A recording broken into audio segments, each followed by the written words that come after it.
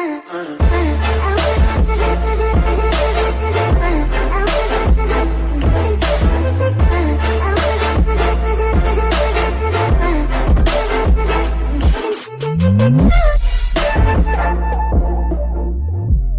guys, how are you today? I hope you all are doing well. If so, then let me know in the comment section. And today I am back with another interesting part of Elemental God Deku. So without further wasting time, let's get into the video. And this is part one. If you haven't watched the first part, then you can check out our channel for the first part.